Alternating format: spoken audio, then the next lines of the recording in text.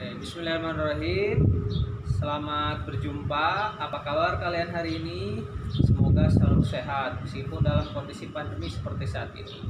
Ya, mohon izin memperkenalkan diri ya. Nama Bapak Pak Adnan yaitu guru PJOK di SD Abu Aziz. Ya, untuk kelas 1 jangan sungkan untuk menyapa Pak Adnan sebagai guru PJOK di sekolah. Nah, langsung saja ya ke materi. Untuk gambaran materi sudah Pak Adnan berikan di modul yang sudah kalian terima. Nah, di situ ada tahapan-tahapan kegiatan yang akan dilaksanakan di pembelajaran PJOK ini ya. Untuk yang pertama, mengawali pembelajaran, mari kita berdoa. Berdoa dalam hati mengawali pembelajaran, berdoa dimulai.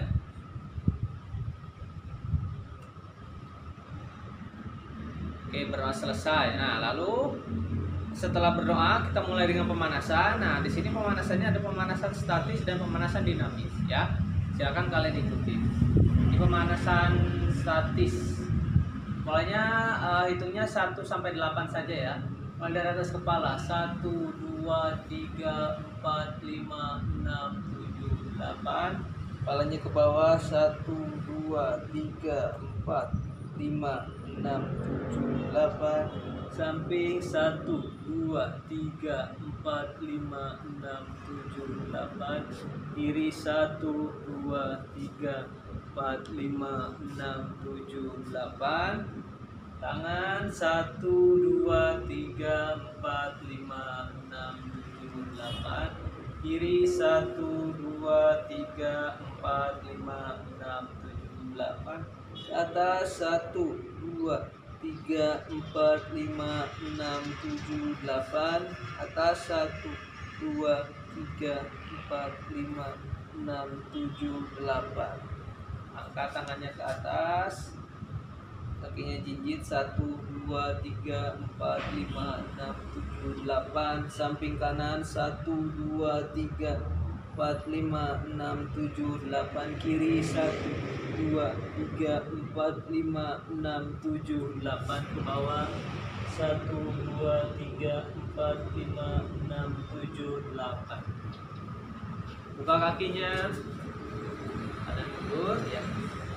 Tepuk. Satu dua tiga empat lima enam tujuh delapan satu dua tiga empat lima enam tujuh delapan angkat kakinya satu dua tiga empat lima enam tujuh delapan lipat. Satu dua tiga empat lima enam tujuh delapan belakang. Satu dua tiga empat lima enam tujuh delapan angkat. Satu dua tiga empat lima enam tujuh delapan lipat. Satu dua tiga empat lima enam tujuh delapan belakang satu dua tiga empat lima enam tujuh delapan. Pemanasan dinamis sekarang. Mau ke bawah ke atas. Satu dua tiga empat lima enam tujuh delapan. Dua dua tiga empat lima enam tujuh delapan. Tengok. Satu dua tiga empat lima enam tujuh delapan dua dua tiga empat lima enam tujuh delapan patahkan satu tiga empat lima enam tujuh delapan dua dua tiga empat lima enam tujuh delapan tangan satu dua tiga empat lima enam tujuh delapan dua dua tiga empat lima enam tujuh delapan tangan ke atas satu dua tiga empat lima enam tujuh empat dua dua tiga empat lima enam tujuh delapan letter S satu dua tiga empat lima enam tujuh delapan dua dua tiga empat lima enam tujuh delapan. Tangan di pinggang putar. Satu dua tiga empat balik arah. Lima enam tujuh delapan.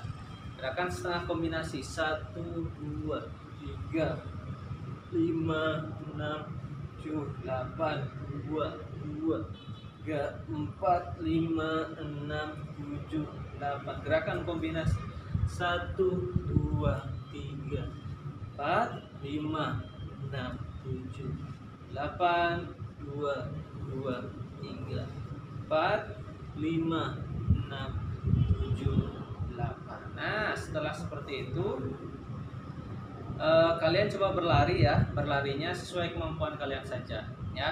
Misalkan dalam tempo waktu 3 menit boleh ya. Kalian boleh lari pulang balik boleh lari keliling rumah silahkan. Yang penting eh, jantung kalian meningkat detak jantungnya jadi siap untuk melakukan pembelajaran ya nah sudah seperti itu kita langsung masuk ke materi nah sebelum materi dimulai ada yang kalian harus ketahui dulu nah materi sekarang yaitu gerak lokomotor apa itu gerak lokomotor Gerak lokomotor adalah gerak berpindah tempat. Gerak berpindah tempat. Pak Dan tanya, apakah ini berpindah tempat? Apakah ini berpindah tempat? Apakah seperti ini berpindah tempat? Dari kanan ke kiri. Nah, benar ya? Berpindah tempat. Itu namanya gerak lokomotor. Nah, gerak lokomotor ada banyak. Ada yang berjalan, berlari, melompat, lompat ke depan dan banyak lagi ya. Ini salah satu gerakan dasar yang kalian perlu untuk kuasai ya. Nah, sekarang untuk gerak lokomotor yang akan diajarkan adalah berjalan. Apakah ada yang belum tahu apa itu berjalan? Atau sudah tahu semuanya? Bapak harap sudah tahu semuanya ya. Gerakan berjalan, kalian tentu sudah pernah melakukan Padan akan tanya, apakah seperti ini berjalan? Atau apakah seperti ini? Uh, seperti ini? Ya? Atau apakah seperti ini? Ya. Tentunya yang barusan ya, yang terakhir itu namanya berjalan. Kalian juga tentu sudah bisa melakukan tanpa diaba-aba, tanpa diinstruksikan. Kalian sudah bisa melakukan. Itu namanya gerak lokomotor, gerak dasar, ya berpindah tempat. Nah, dalam berjalan ini ada beberapa materi yang akan Pak Adnan sampaikan. Yang pertama yaitu berja, gerak, gerak dasar berjalan. Gerak dasar berjalan seperti apa, Pak? Yaitu adalah koordinasi antara kaki dan tangan. Nah, sekarang Pak Adnan tanya, yang benar yang yang satu atau yang dua? Ini yang satu. Gerakan tangan kanan beserta kaki kanan pasangannya. Sekarang gerakan nomor dua.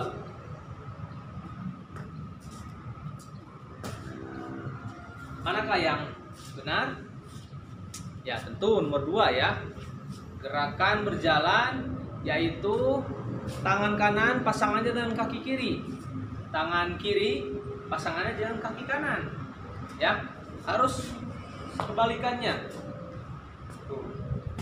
Atau Pak Anan coba berjauh nyaman terlihat ya. Ini namanya gerakan berjalan gerakan dasar berjalan. Ya kalian boleh lakukan di rumah silakan lakukan beberapa menit kalian berjalan bolak balik silahkan tegak badannya tidak membungkuk tidak melihat ke atas tidak melihat ke samping tapi melihat lurus ke depan. Jalan biasa. Eh bolak balik nah lakukan beberapa pengulangan dan berapa menit kalian melakukannya. Dan setelah kalian melakukan silahkan tulis di modulnya di situ ada instruksi isi modulnya materinya berapa menit misalkan kalian pemanasan ada 5 menit atau 10 menit pemanasan silahkan tuliskan lalu yang barusan materi pertama Gerak dasar berjalan, kalian melakukannya berapa menit? Misalkan 3 menit. Dengan berapa pengulangan silahkan. Dengan misalkan 10 pengulangan Pak, 10 kali bolak-balik silahkan kalian tulis di modul tersebut. Nah, sekarang kita masuk ke materi kedua. Materi kedua adalah gerak berjalan mengikuti garis lurus. Nah, untuk garis lurus tersendiri ada beberapa alat yang bisa digunakan ada beberapa peralatan yang bisa digunakan kalau ada garis mohon maaf padan bawah nah kalau ada garis tentu lebih bagus ya garis seperti ini. Garis lurus seperti ini tentu bagus. Tapi kalaupun tidak ada silahkan menggunakan keramik juga bisa. Menggunakan media bantuan yaitu tali rapia juga boleh. Menggunakan tali rapia dibentangkan lurus. Agar tumpuan kakinya lurus. Atau tumpuan berjalannya lurus tidak berbelok-belok ya. Syaratnya peralatannya harus berupa garis lurus. Nah coba.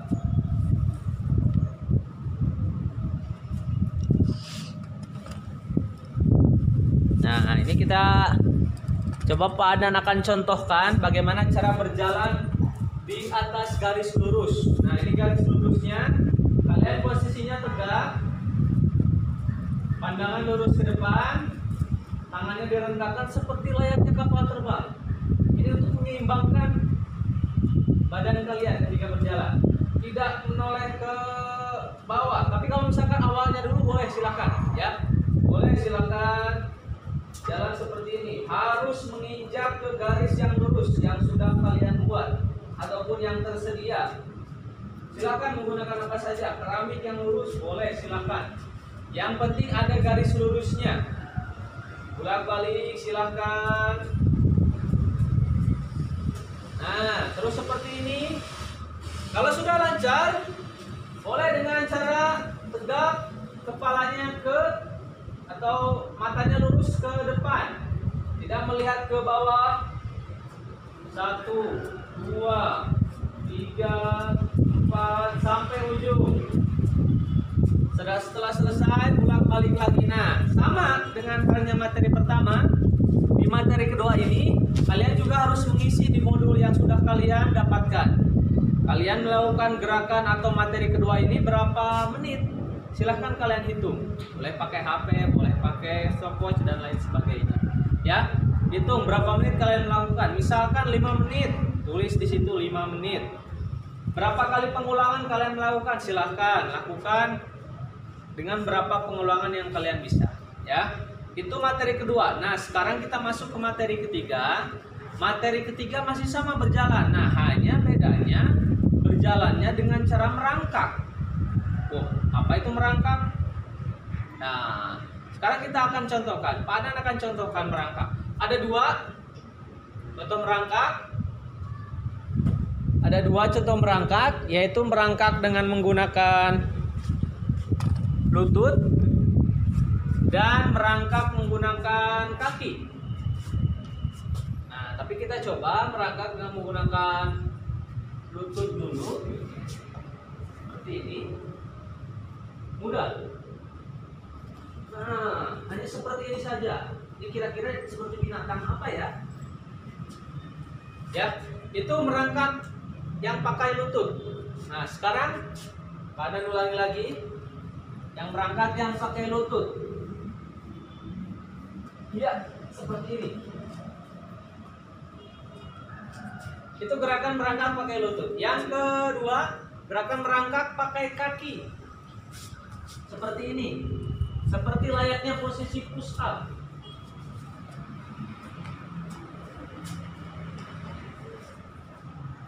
Sekali lagi.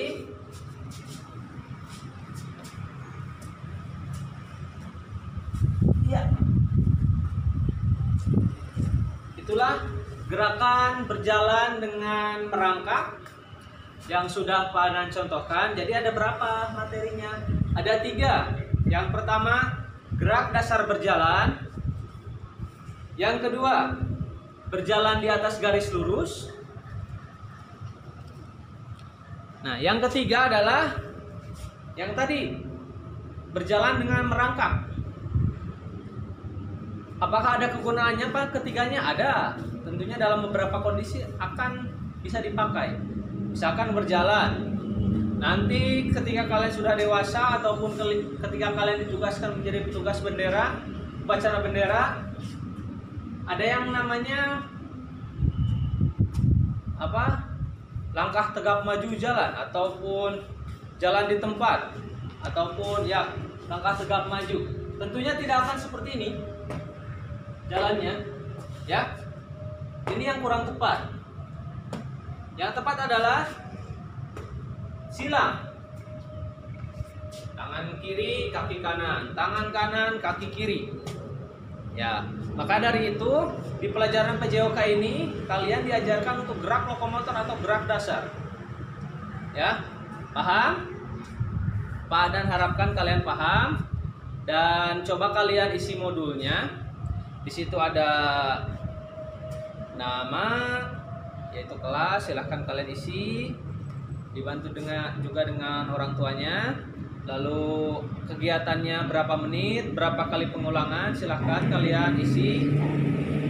Lalu yang terakhir adalah apa yang kalian sudah lakukan? Silahkan ceritakan dengan bahasa kalian sendiri. Misalkan pak aku gini-gini silahkan kalian ungkapkan apa yang sudah kalian laksanakan di materi pertama yaitu materi gerak dasar lokomotor berjalan ya Oke, segitu dari Pak Adnan.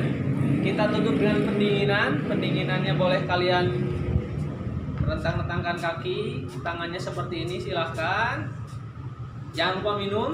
Kalau sudah selesai, tadi pun kalau misalkan kalian rehat materi, silahkan kalian minum dulu. Tidak tidak apa? Tidak harus seperti Pak Adnan tadi contohkan, langsung berurutan tiga gerakan. Silahkan kalian istirahat dulu, minum dulu. Nah, sudah pendinginan kita tutup dengan doa ya doa dalam hati untuk pembelajaran doa dimulai